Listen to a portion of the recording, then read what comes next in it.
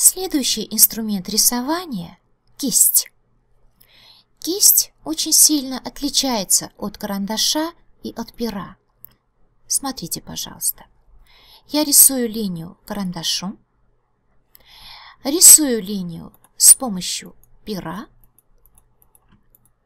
и рисую такую же линию толщиной в один пункт кисточкой. Сразу становится понятно, что они отличаются очень сильно. Карандаш, перо имеют толщину в один пункт и выглядят так же, а линия, нарисованная кистью, с такой же толщиной, выглядит немножко по-другому. Дело в том, что кисть изначально не простая фигура. У кисти есть такое понятие, как тело. Эти тела мы с вами будем изучать. И из-за того, что кисть из себя представляет сложное тело, многие инструменты, увы, с кистью тоже не работают. Например, я хочу закрашивать замкнутые области с помощью Live Paint, живой заливки. И когда я пытаюсь это делать, программа предупреждает, что сейчас линию, созданную кистью, программа превратит в обычную простую линию и после этого только закрасит. Так и происходит. То есть э, с кисточкой поаккуратнее, пожалуйста, можно делать какие-то наброски карандашные, закрашивать с помощью Live Paint и только в конце уже делать какие-то штрихи кистью. Ну что ж, давайте начнем изучать кисти. Методички хорошо описываются все тела, все-все-все виды кисточек. Они находятся на панели Brushes. Открываем панель Brushes, Window, Brushes, клавишный эквивалент F5. Отделяю, пусть будет под рукой. И первый вид кисточек – это каллиграфическая кисть. Вот первый ряд полностью состоит из каллиграфических кист, кисточек. Беру кисть без заливки, допустим, с какой-то обводкой, какой-то толщины. Беру вот этот образец, 5 пунктов flat, и рисую что-нибудь. У каллиграфической кисти есть такое свойство на поворотах. В углах толщина меняется. Если вам надо редактировать каллиграфическую кисть, точнее именно этот образец на панели Brushes, вы выполняете двойной клик по образцу. Двойной клик по образцу. И, пожалуйста, через ползунки угол меняете или окружность, форма окружности – Стопроцентная окружность – это абсолютно правильный круг. Размер. И здесь, и на панели опций, где строк, можно выбрать размер. Можно также все это делать прямиком в окне просмотра. В большинстве случаев мы работаем мышкой, но очень рекомендуется художникам, иллюстраторам в дальнейшем приобрести планшеты и Включать планшеты, работать с режимом Pressure, нажатие. Это третий режим. Для каждого ползунка вы включаете Pressure, нажатие и работаете уже стилусом. Это ручка, которая рисует на поверхности планшета. Именно художникам это очень-очень рекомендуется. После нажатия ОК возникает вопрос, применить эти изменения к этой именно линии. Apply – применить. Или не применить, а просто сохранить в этой панели. Leave strokes – сохранить просто в панели. Я предпочитаю применить и сохранить эти изменения. Apply. Это каллиграфическая кисть которую очень часто мы используем для получения таких линий разной-разной толщины. Вторая кисть – объектная кисть. Объектная или художественная.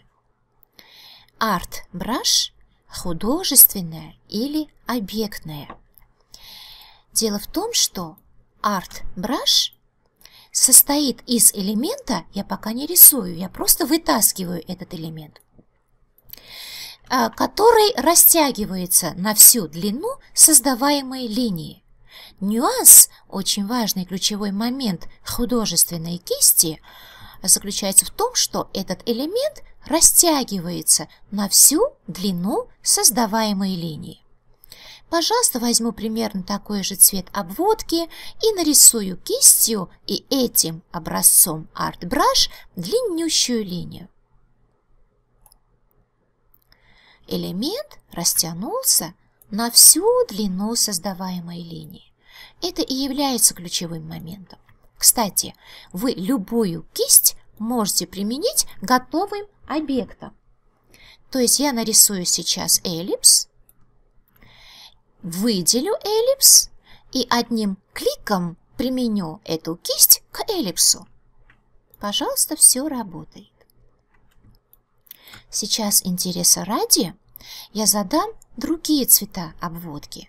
Этой не замкнутой кривой я задаю зеленый цвет обводки, а эллипсу задаю фиолетовый цвет обводки. И мне очень хочется, чтобы помимо основных оттенков у меня была возможность использовать цвета обводок. Редактирование кисти – это двойной щелчок по образцу. И здесь мы видим следующее. Colorization метод, метод добавления оттенка, по умолчанию стоит non – нет никакого метода для добавления оттенка обводки. Но если мы хотим обводку включить, то мы среди методов выбираем tints – оттенки. Какая обводка, такая и кисть получается в ваших линиях. Есть еще методы Tints and Shades, немножко тень добавляется, и смещение от оттенка. Но в основном мы используем non, работая с исходными данными, и tints, добавляя оттенки обводки. Также вы можете масштабировать эту э, кисть пропорционально. В очень редких ситуациях мы это делаем. Растягиваем на всю длину, то есть концевые эти штрихи также растягиваются. И растягиваем только центральную часть, выбранную нами. Стартовую точку вы можете изменить. Окей. Apply. Также, конечно, мы можем создать свою собственную художественную кисть. Например, я рисую простейшие маленькие объекты строго с однородной заливкой. Обратите внимание, пожалуйста, строго с однородной заливкой мы работаем. Кисть не будет создаваться из градиента или узора. Кисть работает и создается только из однородной заливки. Выделяю три объекта с однородными заливками и нажимаю на панели Brushes New Brush. Новая кисть. Из кисточек выбираю Art Brush, что мы сейчас изучаем? Художественную кисть. Окей. Пока оставлю параметры как есть. Если мне понадобится, я сюда зайду двойным щелчком. Вот моя кисть. Беру инструмент, выбираю этот образец и рисую длиннющую линию.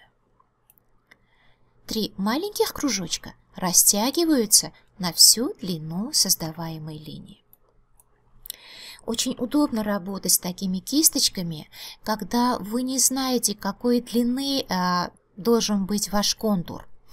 Поэтому очень рекомендую работать. Среди заданий в разделе номер 4 есть кисти и меш, и есть э, такая вот новогодняя открытка. Я долго думала, иголки делать как у сосны или делать как у ели. Длинные или короткие. Поэтому я решила создать просто художественную кисть острые уголочки надо делать, потому что это все-таки иголки. Как бы мне не хотелось сделать градиент, я не имею права, потому что не получится кисть. Я просто дублирую объект, выбираю другой оттенок, можно несколько раз дублировать. И из этих двух однородных объектов получаю художественную кисть. Конечно же, веточку можно нарисовать любую, даже инструментом карандаш. Вы можете нарисовать ветку любую, пожалуйста. Но вот иголки уже кисточкой рисуете. Хочется ель, делайте покороче иголки. Кстати, размер можно и толщину, точнее, можно и здесь поменять, и там внутри диалогового окна. Поэтому, пожалуйста, свобода максимальная. Хочется, как сосну, нарисовать длиннющие иголки. Делайте подлиннее. Пожалуйста, длиннющие иголки. Можно все это выделять, при нажатой Alt сдублировать и так далее. Вот такая красота. Третья кисть, она попроще. Это щетинка. Щетинка, она одна единственная. Очень рекомендую сдублировать этот образец единственный. Чтобы скопировать единственный образец, на панели Brushes мы перетаскиваем этот образец на предпоследнюю кнопочку. Получается копия образца. Пусть будет несколько копий. У нас будет несколько кисточек щетинок. Нарисую одну линию этой кисточкой, вторую другой кисточкой. И вот вторую кисточку я хочу уже редактировать. Двойной щелчок по образцу. Я захожу в окно опций, выбираю форму, как мы в детстве на уроках рисования выбирали разные кисточки. Выбираю размер, толщину, плотность. А толщину каждого волосика можно уменьшить и увеличить. Opacity – непрозрачность, уменьшить и увеличить. И также смещение от базовой линии, небольшое смещение. Здесь самое главное выбрать подходящую форму и размер. Окей, Apply. То есть эта форма уже другая. Также можно редактировать третью кисть, выбирать нужную форму, вот такой со углом, с наклоном, побольше, и нарисовать уже третью линию с помощью третьей кисточки. Пожалуйста. Каждая кисточка может редактироваться уже отдельно от всех остальных. Поэтому дублирование одного единственного образца очень рекомендуется.